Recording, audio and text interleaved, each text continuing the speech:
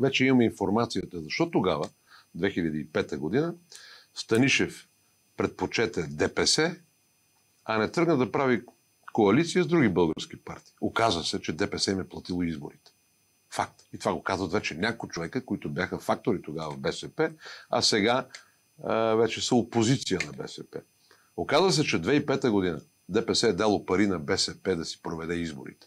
А БСП е подписало споразумение предварително с ДПС, че след изборите ще управляват заедно.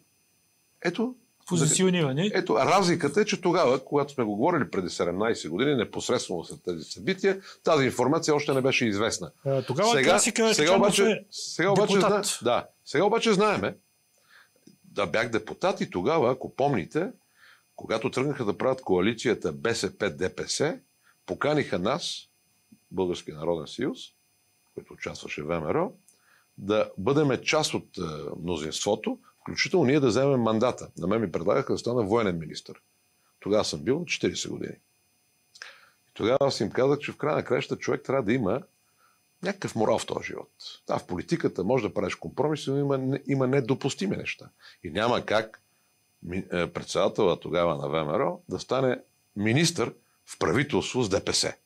И не станах тогава правителство на ДПС министър. Между другото, разговор го водим. И бяхме опозиция. Няколко дни след като парламента частично е приел предложението на ВМРО за ограничаване на гласовете от Турция. Точно така.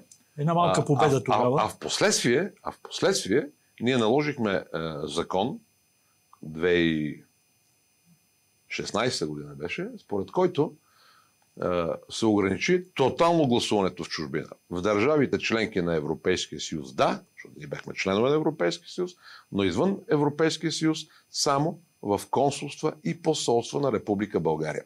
Забележете какво се случи веднага, когато ние излязохме от властта. 2021 година. Веднага, по инициатива на ППДБ, с гласовете и на има такъв народ, с гласовете и на ГЕРБ, които преди това бяха гласували нашия законопроект и отрязахме ДПС от гласуването в Турция, се промени закона и, както виждате, сега е ваханалия. Насякъде, всеки, във всяка керамитка, будка или магазин може да открива секции. Да и сеща, че там резултатите са тотално манипулируеми. Ето за това говорим, за принципите, които ги няма. И Добре, за... ще стане ли сега прочистване не, или... няма да стане, никакво прочистване. А... Няма да стане. Казвам разпадане на ДПС. Не. ДПС Кой ще просто... победи от ДПС Доган и ДПС Пеевски? Във времето ще победи Пеевски. Пеевски е по-младия, по-енергичния, по-добре организирания, по-работливия. Доган отдавна живее в ролята на мадреца в Сарайт. Ма само взеха и Сарайт. Плюс това и нека то не е срамно възрастта, но и възрастта пречи. Доган е над 70 и няколко години. Възрастта вече не ти дава тая енергия.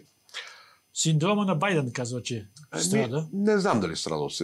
Доган не съм го виждал на живо от е тази 2005 година, когато а, Станишев а, а, и Доган ме калесваха да влизам в тяхното правителство. Аз им отказах. От тогава Доган 2005 година не съм го виждал на живо.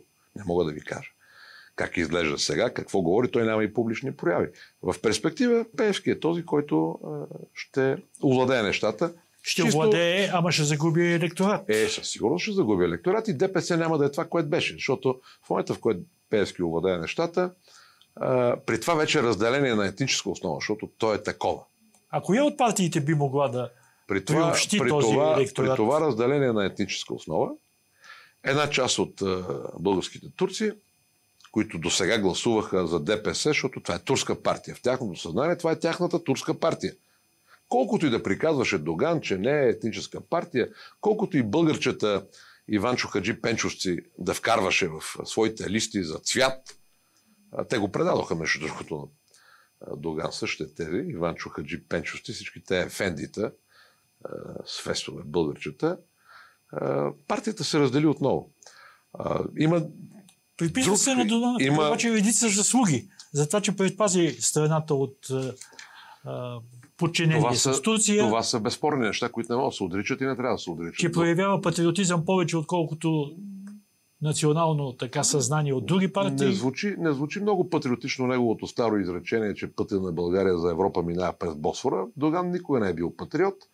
но винаги е бил човек, който а, не е позволявал на Турция да го командва. Той не е случайно във времето изгони няколко, примерно един-двама свои заместници. Имаше един Мехмет Ходжа, който беше тотално а, маша на турската политика, заместник председател на ДПС и то откържили от бастиона на ДПС. Изгони го още 94-та година. След това изгони Касим Дал, за който имаше съмнение тогава. Те се появиха и в медиите, че е обвързан с турската външна политика и с вече новия тогава политик, силен политик на Турция и до ден днешен, Раджеп Таип Ердоган.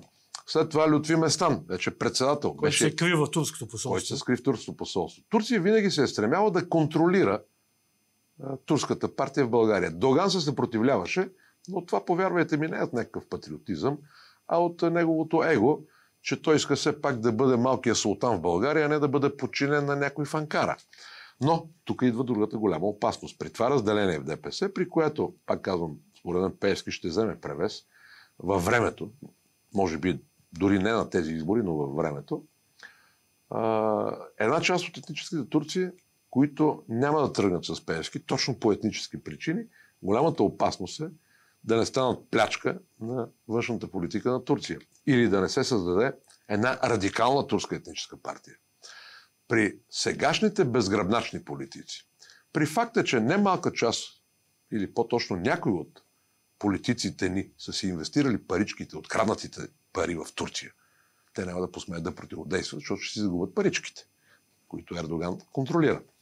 Тоест, при сегашните разкапани институции, при сегашното ДАНС, при сегашното неразузнаване, при сегашните ни съд и прокуратура и Конституционен съд, като нищо може да осъмнем след Доган с една нова турска етническа партия, която ще бъде много по-радикална.